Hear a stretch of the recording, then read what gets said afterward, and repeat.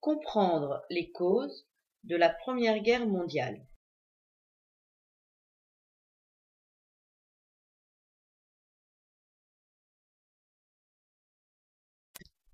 La Première Guerre mondiale n'a pas éclaté de façon inattendue en août 1914. Les rivalités entre États animent l'Europe depuis plusieurs décennies. Grâce à l'industrialisation, l'Allemagne est au début du XXe siècle en plein essor économique et veut conquérir de nouveaux marchés.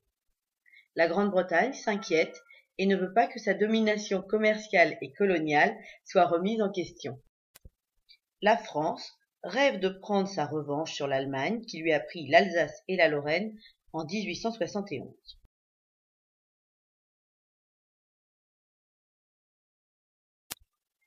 De plus, de nombreuses minorités nationales, c'est-à-dire des peuples souhaitant leur reconnaissance, menacent la stabilité de certains États.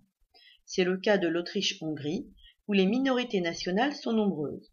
Les Slaves du Sud, bosniaques, slovènes, croates, souhaitent former avec la Serbie un nouvel État, la Yougoslavie, c'est-à-dire l'Union des Slaves du Sud.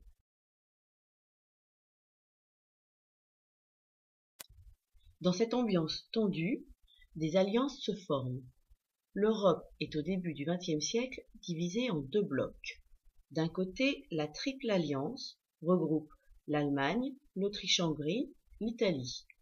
Face à elle, la Triple Entente est l'alliance de la France, la Russie et la Grande-Bretagne.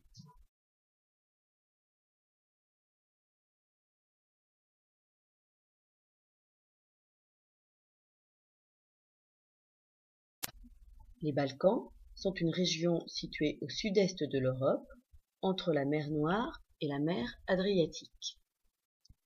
C'est une région où rivalisent les puissances européennes pour installer leur influence face à l'Empire ottoman qui décline.